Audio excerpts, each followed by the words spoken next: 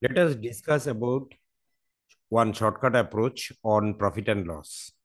In profit and loss, we can find some questions wherever multiple transactions have been given in percentage format. And we need to link them all.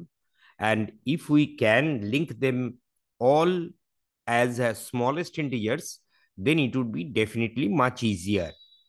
Not that much calculation get involved. We will take one such question in this question, we can say that there are multiple people. Like first of all, we can see that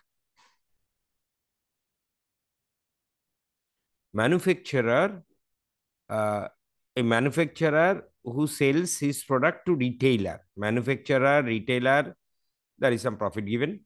And that retailer to shopkeeper, shopkeeper to customer. So this way, different information and one of the data is absolute data rest of the percentage. So approach for this kinds of question, all percentage changes that we will take it. Here I have written all of them like manufacturer, retailer, shopkeeper and customer.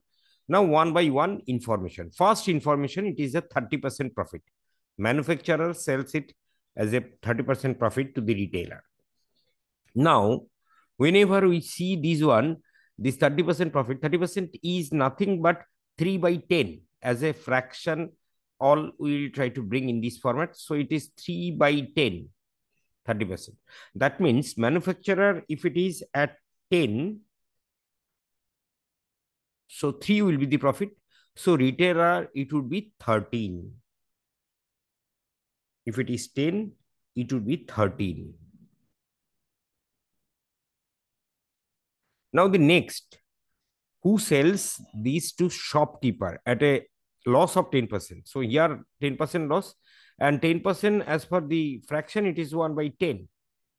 Now 10% loss, retailer, if it is 10, then the shopkeeper, it should be 9. Now, if I link them, these uh, three of them, then we can find it should be written as 100. Uh, no, next one I need to write. So I don't have that much of space. So writing here 100, this would be 130 and this would be 3 into 13. That means 117. And then 25% profit, which is given 25% profit, it has been uh, from shopkeeper to customer. So 25%, one fourth, one fourth. That means shopkeeper, if it is 4, it should be 1 less. No, it should be 1 more 5. Now we need to link these uh, values like here, first of all, first 3 taken together, it is the value.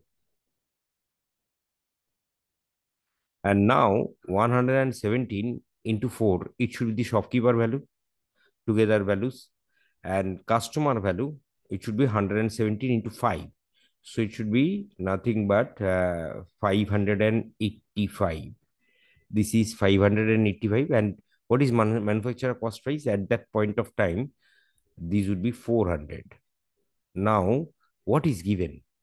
Given that customer sells to customer at a rupees of 585 so basically this 585 same thing and once it is same, that means it would be 400. My answer, it remained 400, which is the manufacturer cost 400 answer. So by this way, linking this data is highly possible.